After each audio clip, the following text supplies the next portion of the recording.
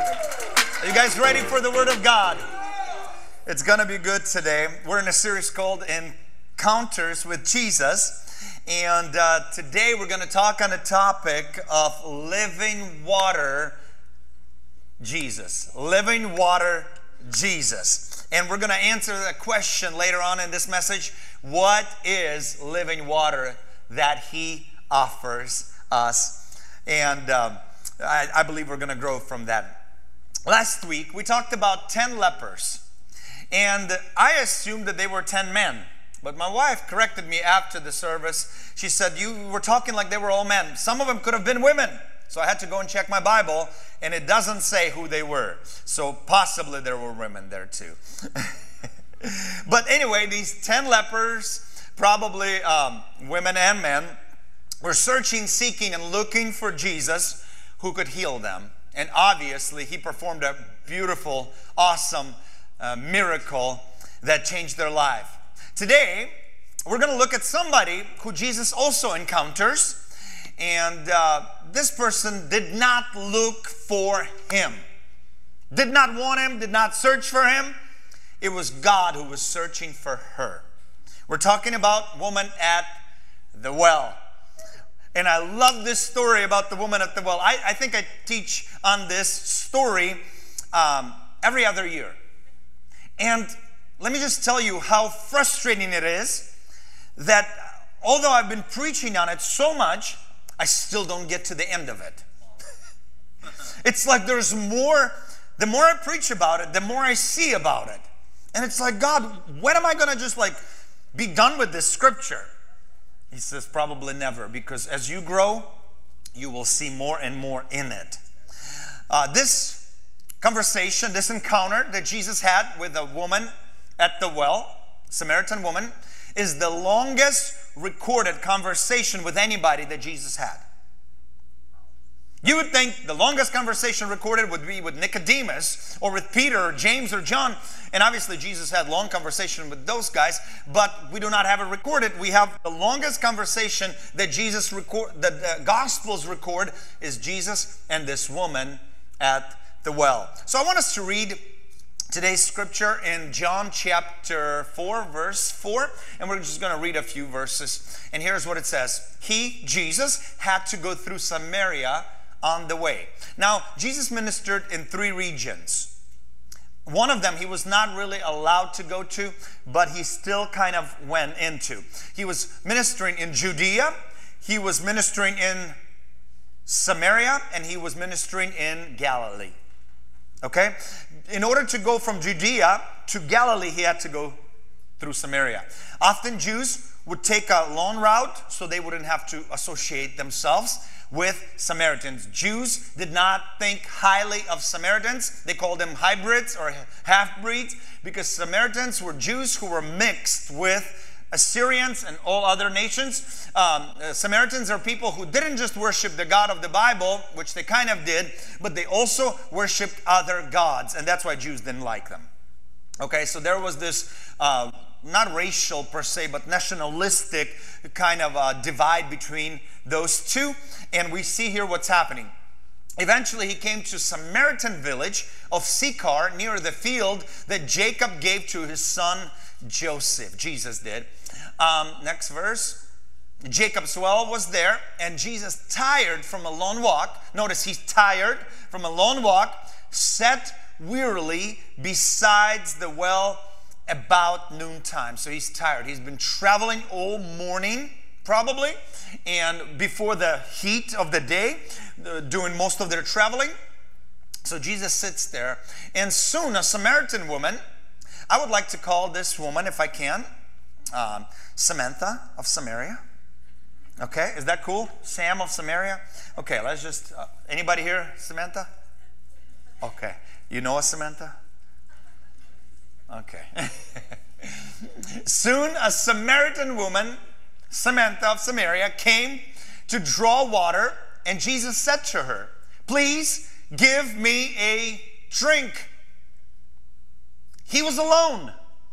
Can I tell you, in that culture, men were not supposed to talk to a woman alone. Yes, yeah, especially a rabbi. but he's reaching out, he's breaking the barrier, cultural barrier, and uh, sexual barrier, uh, not sexual barrier, but uh, social and gender yeah. barrier. Yeah. And he is associating with her. Imagine you see your pastor, me, in a restaurant somewhere talking to a woman, Samantha of Samaria. It wouldn't look good. call Tanya. Take a photo, call Tanya. and Alex is on the street.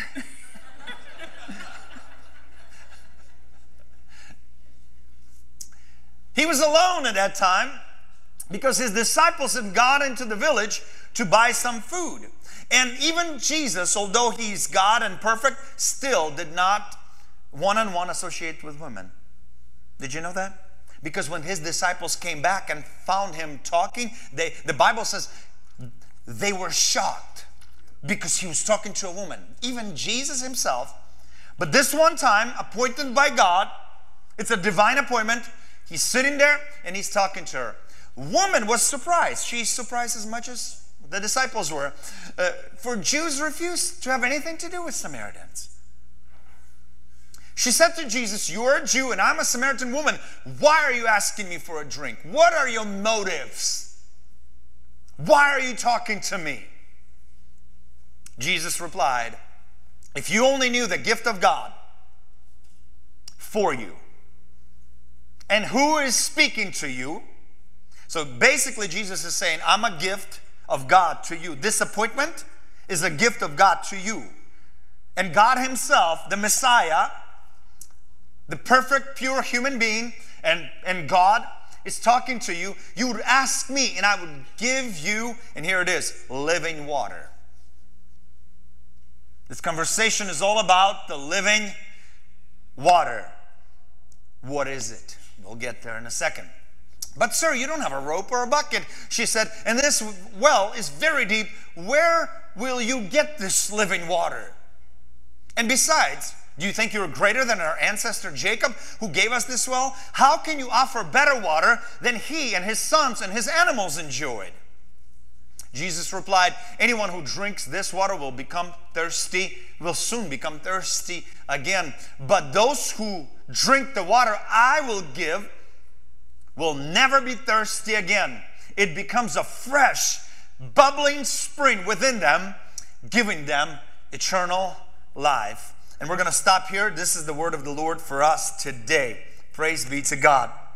Now, let's dissect this story and let's see what we can learn from it and what Holy Spirit wants us to learn from it. Now, the Bible says Jesus had to go through Samaria, meaning God, Jesus is not controlled by circumstances. This is, was not a chance encounter. This is a focused, planned circumstance. It's a planned situation that God had for this woman. And like I said already, this is the longest encounter Jesus has that is written in the gospel. And she is not a church going woman. She is not a spiritual woman. She's not a religious woman. She's not even a seeker of God. But isn't it awesome that it's not just that we are so good that we were seeking God, it was that God was looking for us. Her reputation, can we talk about her reputation? She's not very popular in town. Why? Because Jesus exposes just a little later that she has had five husbands, and now the guy she's living with is not her husband. She's checking up with another man. So obviously, women of that town probably like to gossip about her. That's why she came during the hottest part of, well, part of the hottest, noon part of the day to draw the water all by herself. She didn't want to see anybody. She didn't want to talk with anybody. She didn't want to get the glances, the looks of anybody. She was probably often gossiped about. She was kind of, can I just tell you, she, she's kind of a Kim Kardashian of that town. Now, some of you are like, well, Kim Kardashian is popular. Yeah, in our culture, because we're kind of perverted. but in that culture, can I tell you, to have five husbands and another guy in that culture is like you have to be super pretty. So I assume that she's very, she's the 1%, she's the model type. That's why, because men usually in that culture would not marry a divorced woman. Everybody wanted a non divorced woman. but notice this woman has so many men coming after her, tells me that she's very wanted and she's very desirable as far as her looks go. But after being with her, so they, they love her for her beauty. But for some reason, later they divorce her. Maybe for her character. I don't know. I used to look at this woman as a sinful woman um, more than others, but I kind of changed my mind a little bit. Because did you know that in Jewish culture, a woman could not divorce her husband? So who divorced who? Who left who? The man that married her for her looks, probably, just as fast divorced her after they got to know her or whatever. And how do you divorce a woman in a Jewish culture? The Bible kind of gives us a glimpse, and some rabbinical teachings give us a glimpse. And here's how you do it you write her a letter of divorce, then you go in a square, town square, where there's lots of people on some day, on Sabbath, and you hold this letter and you say, I divorce you, I divorce you, I divorce you three times, and you give the woman a letter, and that's it. From that day on, she has to leave your house and she leaves with nothing. So you call her a sinner. I like to call those men who divorced her just as much involved, just as much responsible as she is. But nevertheless, now she's living with a sixth guy and she's living in sin. Obviously, the Bible calls it sin when you're not married. Uh, we know that, right, church? No, it's not a sin anymore. We've changed, we've evolved. The Bible calls it still sin. So I know CNN probably says it's not, your college professor says it's not, but the Bible still says it is. So we're going to go by the Bible today. Just today, okay? Well, and tomorrow. Amen. And, and, so, and so she's beautiful, uh, but she is broken. Because how many of you know when you've been abandoned so many times, you can't help but have that what's wrong with me? What is wrong with me? And so the more they abandon her, the more she wants their love, the, the more she worships love, the more she worships men, and the more she worships relationship, that, that relationship. And billions of people, millions of people of that time wanted, maybe even holy men, have prayed for a conversation with Jesus. And they didn't get it. But look who God goes after. God preordained this before the foundation of time. He's going after a woman like Samantha of Samaria, of Sychar. That's her town. He will leave the 99. He will leave the holy man, it says, right? He will leave the, the healthy and he will go after the sick. That's the kind of God we served, and never forget that. Sometimes we Christians, we forget. We think God is all about us, but God will leave a holy man and he will go after a bad reputation woman or a man until he seeks them and he finds them. And notice he walks over the nationalistic barriers between that, although she doesn't. He's walking. Can I tell you that Jesus broke barriers between people? Although people not necessarily did it back. Notice her response is, Why are you talking to me? Why are you talking to me? You don't like us? Fine. We don't like you either. Don't talk to me. He's asking her for water. He says, she says, No, you don't have nothing, and why are you asking me? So she's giving him a hard time. But notice he doesn't say, Who needs you? I'm God. you should die in your sin, you know? No, he keeps pushing and gently going to the source of her problem, and that's worship. She's worshiping something, she's seeking something, and that something does not satisfy. She's going after man after man after man after love, love, love, and the love never satisfies because she's going after a secondary thing that only could be filled, that first thing that could only be filled by God. For some divine reason, preordained by God, she got a privilege of a lifetime to meet the Son of God, Messiah, face to face while on the earth. And she was not even seeking Him. Maybe you're here today and you're not even seeking God. Can I tell you? God has a way to break through your barriers. God has a way to get to you. Why? Because He loves you. He created you. He foreknew you before the foundation of the world. He knew you were going to be here. He knew this woman. And later, what she become was beautiful. And I'll show it to you in a second. The second point here is that Jesus is tired and weary. We've all used an excuse. Why didn't you talk to that person God has brought into your path? I was tired.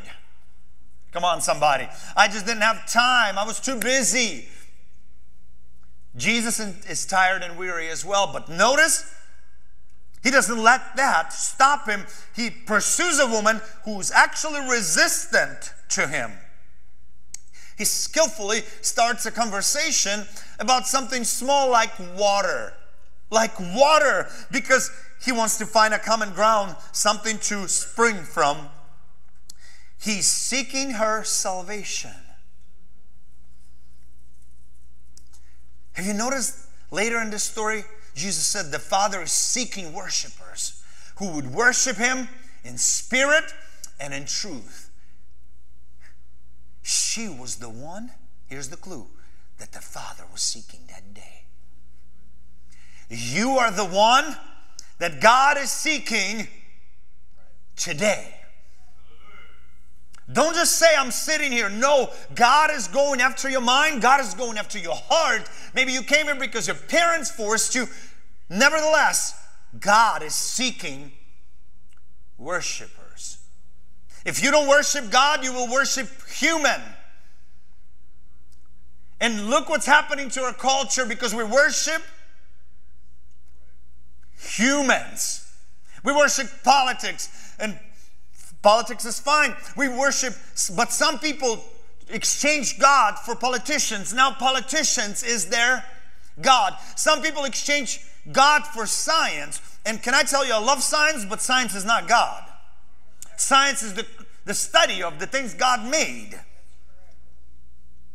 And so our society is in danger and if you look at previous superpowers and societies, when they removed God, that was the sign of their downfall. And before long, they were destroyed. They started worshiping idols. And human beings self destruct when we worship idols, when our nation begins to worship something other than God. We begin, that's the sign we're self destructing. And she was worshiping something too. And God, and, and Jesus says, I, I want to, I want to. Father is seeking you to worship Him in spirit and in truth. And that's when everything aligns in your life.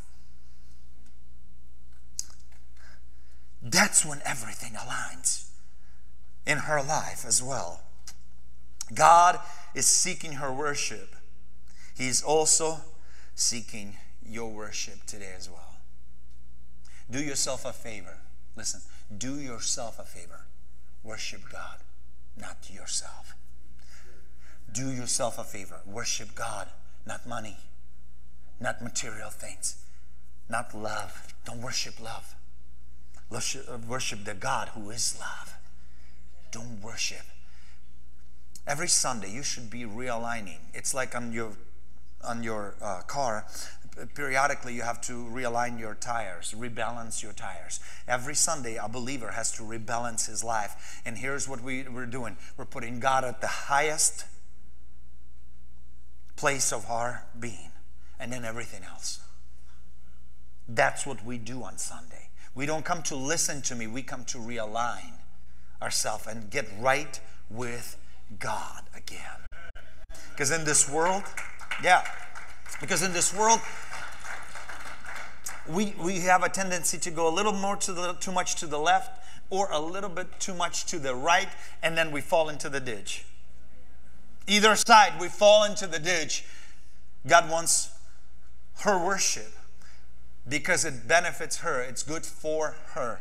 Remember, I said, do yourself a favor and worship God with all your heart, soul, mind, and strength. Worship idols, and they will destroy you every time. Every time. But Jesus is tired and weary. But God has an encounter with him, and so he pushes through. He probably just ministered to thousands of people. He's tired, but he still finds a moment in time for this woman that the culture rejects, but God loves. The culture rejected her, her town rejected her, man rejected her, maybe even her parents rejected her, religion rejected her, priests rejected her, but God loves her. But God loves her. Samantha is not looking for God. God is looking for Samantha. And Jesus takes the water, regular water, and he turns that into a spiritual water. And he says, He who drinks the water I give, the living water I give, will never thirst again. What is that water? Living water. What is it? And here it is living water is the love of God.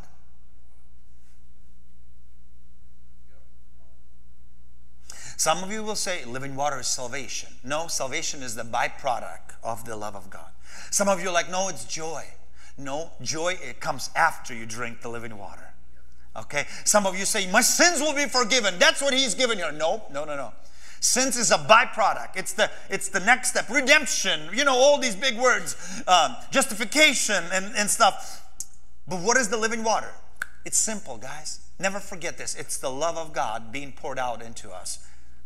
For it is the loving kindness of God that leads us to what? Repentance. Right. See, you first get the loving kindness, you drink of this love of God, and then you can't live in sin anymore. How could you? When you've been changed. Notice all her life she's seeking, she has an itch. And she's looking to fulfill it in man. Maybe you have an itch, maybe you have that deep yearning, deep desire. You want something more, and you can go from man to man to man, and they will disappoint. You can go from cake to chocolate cake and eventually even that will disappoint. You can go to substances and you can go to pornography, and those things will give you temporary maybe relief, but in big scheme of things, they disappoint and it's frustrating when you're seeking something and you can't find it. It's frustrating. It's frustrating. And so Jesus said to her, I want to give you something that you will not thirst again. Let me tell you this since I've drank that living water, since the moment, I have never went out looking for another God. My soul is satisfied. Uh, for those of you who are happily married, once you found that spouse, how many of you can say, I, I'm done searching? I'm no longer on Tinder. I'm no longer on Farmer's Love or whatever it's called. Um, uh, sure, whatever. I, uh, you know, there's all kinds of these uh, uh, places where you, you, you, I haven't, can I tell you that I haven't looked online for another woman because I've been happily married. Same thing with the job. Let's say with the job, you're always searching, never find, but then you found something, and then you're like, this is it. I'm never going to search again. Because searching is frustrating sometimes. You, you always hear people changing jobs, and, and I understand when you have a job, it's, it's, I don't think you can ever be satisfied having a job. Can I just be honest? When you have a business, it's a different story. But when you have a job, it's, it's hard to be working for somebody else. It's, for those of you who are working for a boss, you will never be completely satisfied. I don't, I don't think it's even possible because, uh, anyway, I'm going to leave that alone. That's, that's a different subject. But uh, he says, I can, yeah, I can give you living water. And what is her response? I can give you a gift of living water. I can give you a gift of the love of God. Samantha probably thought that God hated her. Would you agree? She probably believed that she was the worst sinner. And here, this man says, I am the Messiah. I'm He. And He shows her this love. And so, what does she say? What was her response? Give me this water, living water. Does she understand what it is? No. Did you understand what salvation was when you got saved? Do you understand what love of God is? Especially on the day that you receive it? Nobody does. It's like buying a computer and you've never used the computer. You don't even know what, what it can do. So you look at it like, what is it? It's a, like a little box or something, you know? But if you start playing with it, it has so many capabilities, right? Same thing. She didn't know what she was getting. And none of us know exactly what God is going to give us when we become saved. But by faith, can I tell you, we receive everything in one moment. Listen to me. When I was saved, I didn't know what I know today. 20 years ago, some 25 years ago, I got saved. I didn't know what I know today. It is by faith we understand that the worlds were created by the Word of God. How does it work? How does DNA work? I don't know. But it's by faith. I already know it all. I know it before I understand it. How do you know Jesus is the Lord? I can't explain to you. I just I just know. See, you don't have to understand everything because God is too big. Try understanding cosmos. Try understanding space and everything, how it all works. It'll take you lifetimes. But we know it's there. And by faith. And here's what she does she drinks when she says, Give me this water. She feels the love and she responds. She drinks the love of God. And it creates, what is that word, Pastor Andre? Synergetic. It creates synthesis reaction. Listen to me. It's deep. It's it's when see if if God loved her before he met her. But nothing happened. But when she met him and responded, synth, what is that word again? Synth, synthesis reaction happens. Synthesis reaction happens in your soul and in your spirit. When the two become one, they create something new together. Listen to me. Suddenly, a woman like this springs up like this. How do I know? Suddenly, a burst of energy and hope comes in into her life. And it was by faith, believing that he's the Messiah, that her love united with His love, and there was a combustion, synergy of some sort. Imagine a man loves a woman, but the woman doesn't love him. Imagine that, right? Is there a lot of chemistry there? A lot of combustion? A lot of love? No, not so much.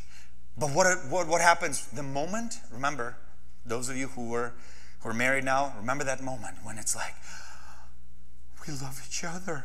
I love you, you love me. What happens?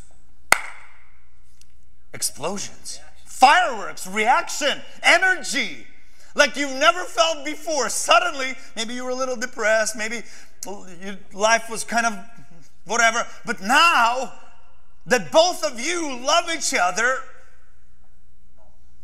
and both of you know this, something else happens.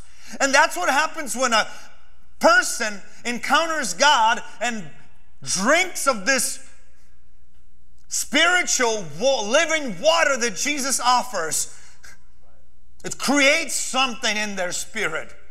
Let me just give you a, an example in Africa, and I've never been, but they, I've watched many videos, video after video after video, so I know about Africa. I watched movie after movie, so I know. But many months out of a year, the Africa, Serengeti, and stuff, it's it's all desert, right? It's all dead and dry, and then rain comes in, and what happens? Suddenly, within days and hours, the desert comes alive. Suddenly, the birds fly in. Suddenly, the bugs fly in. Suddenly, fish come back. Suddenly, everything starts growing and animals start coming in, and there's life in the desert. And that's what Ezekiel writes. He says there was a river flowing from the temple, from the from the Ark of the Covenant, it was flowing, and everything it touched became alive. God wants to turn graves into gardens. God wants to take your dead spirit and dead soul that is searching for things that are meaningless sometimes, and He wants to turn it into a garden. God wants to make you alive again. And so Jesus offered her one thing, and He's offering you one thing today is that living water. When you drink it, you will not thirst again. David says, As the deer thirsts for water, my soul thirsts after you. Thirsty for God. You function best when you are filled with the living water of God, with the love of God. And so here's what happens when the loves combine God's love and her by faith. New burst of energy happens. Number two, liberation from constant seeking happens. Your soul is constantly searching for God. That's why people who have not found forgiveness, and satisfaction in Jesus Christ constantly go from new book to new guru to new religion. They try different religions, right? Why? Because they're still searching. They're still searching. New self help book. Maybe this book will help me. Maybe this new age will give me answers. Maybe some spirituality. Maybe Kabbalah. Maybe uh, Scientology. Maybe whatever will give me the answers I'm looking for. Jesus said, but once you drink of this water.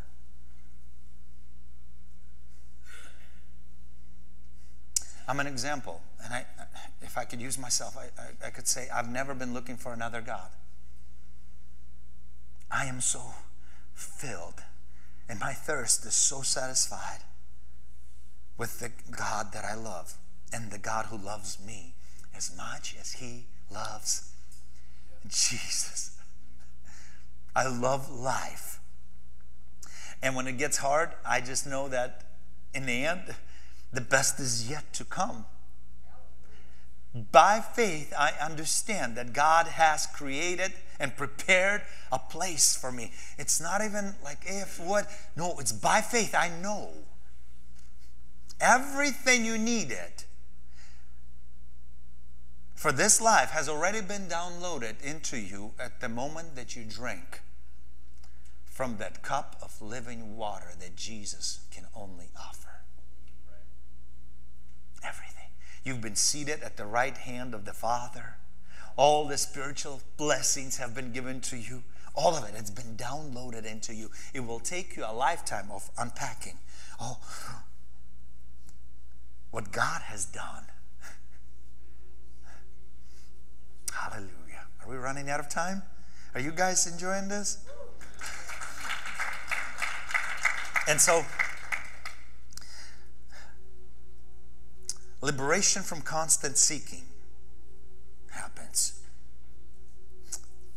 It's a good feeling when you've been in a dating scene for too long. You just want to settle down and you just want to stop seeking, right?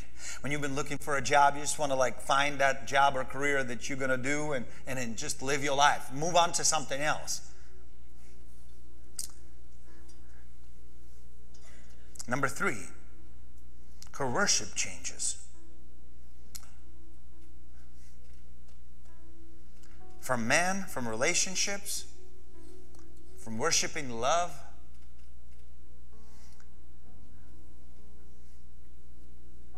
to worshiping the Father in spirit and in truth. The worst thing we can do is force on a man who has not drank living water to try to worship God in spirit and in truth. The worst thing, parents, we can do is without uh, leading our children to drink from the living water, is forcing them to behave in some moral way. Because an ungenerated man could not receive of the things of God. And so Jesus goes right for that the bullseye, the heart of things. And he says, Drink this water, and then you'll understand. See, some people are like this I want to understand before I believe. Can I just, with all due respect, your puny mind cannot understand God. My, same with me, my puny mind does not understand God. We only can say, like a woman at the well, okay, give me that water so I don't thirst again. Today, the only thing you could say, God, give me. Or if you're a believer, God, keep giving me that water. Let it bubble up in me. Let it constantly, the love of God, bubble up in me. That's what makes you want to change. That's what makes you want to be better, be moral. That's what makes you want to do good. That living water in your spirit. Because works without faith is self gratification. If I'm honest, why do people build hospitals? So they can go on TV and tell how much they've done? Why do people feed the poor and then bring a video camera with them? So they can show everybody on social media how good they are? Works without faith. But when you drink this water, it's different now. I do this for God, whether people see or don't. And actually, sometimes they have to see because Jesus says, so they may see your good works. Glorify your Father who's in heaven. Hallelujah. So her worship changes. Do you remember Leah and Jacob? Remember, Jacob was a cheat, it was conniver, liar. He um, lied his father to his father to steal the blessing from his older brother Esau. When he goes and he lives in a far distant, away from his family, never to see his mom again. And uh, he wants to marry this beautiful woman named Rachel, a younger daughter. Well, on the day of marriage, his father in law tricks him just like he tricked his father. Right? He tricks him and gives him Leah. Leah, the Bible says, is not a looker. Rachel was. It's biblical, come on. Rachel was. I'm talking the Bible here, please. Um, the Bible says about Rachel that she was beautiful in face and form. Leah, she says she couldn't even see.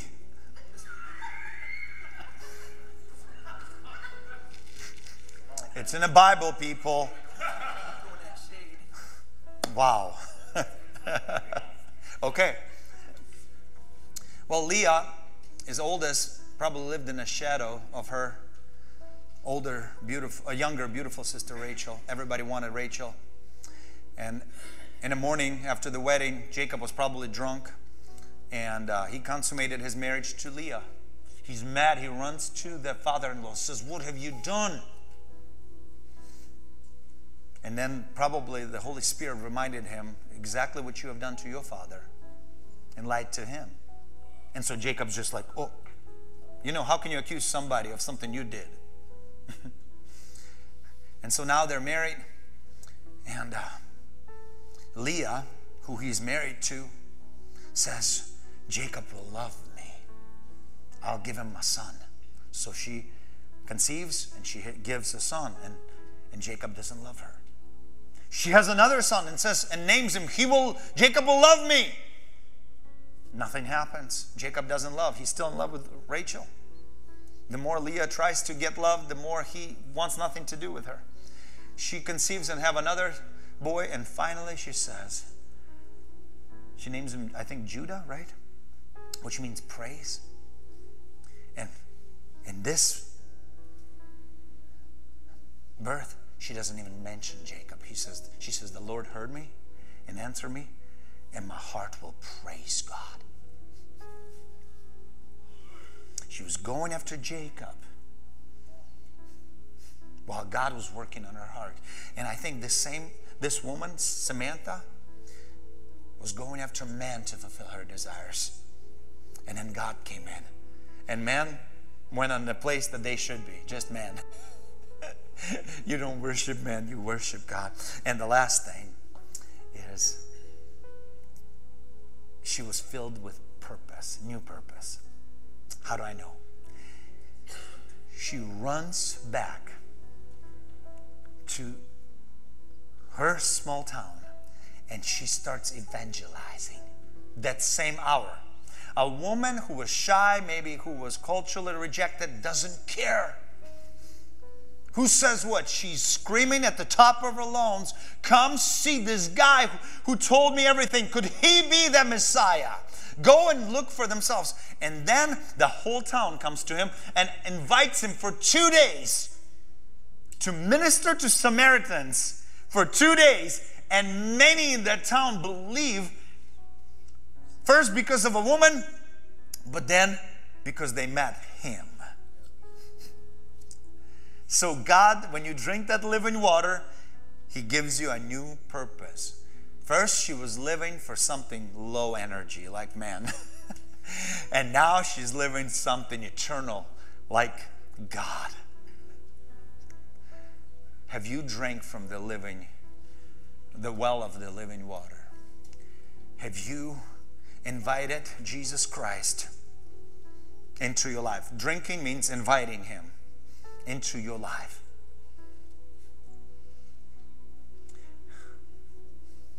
Today, I want to give you that opportunity. Would you close your eyes and bow your head? I want to ask you have you drank from that well? If not, God, through my lips, is calling you to Himself. God, through my voice, is calling you. He says, I, I'm a gift. I'm the greatest gift the world has ever had, and I'm offering you myself, I'm offering you this living water. In Joshua, it says, This day you choose who you will serve. This day, today, you choose. Will you serve yourself or will you serve your Creator God? And so, on a count of three, if that's you, if you want to say, I want to drink from this well of living water, I want to invite, I'm asking Jesus to give me that water. On a count of three, would you raise your hand and raise it high?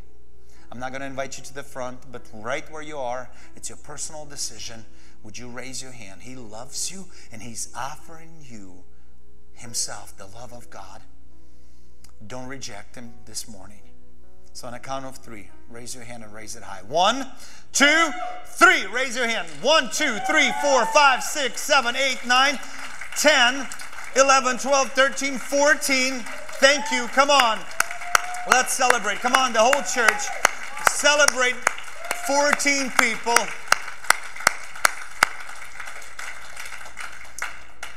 I want you to keep your eyes closed and say this Jesus, give me that living water now, so I will not thirst. Forgive me of my sins. Come into my life. From this moment on, I declare you my Lord and my Savior. From this moment on, by faith, I believe that I am saved, I am forgiven, and I'm a child of God for eternity and beyond. In Jesus' name, amen. Come on, clap your hands and let's celebrate. Woo! Thanks for tuning in to New Life Sermon Series Online. If you're blessed by these messages and are interested in helping spread the Word of God to others, make an investment today. You can give at newlifechurchsf.org. If you have a story or a testimony to share, let us know on our website as well. We hope you have a blessed day and enjoy today's message by Pastor Alex.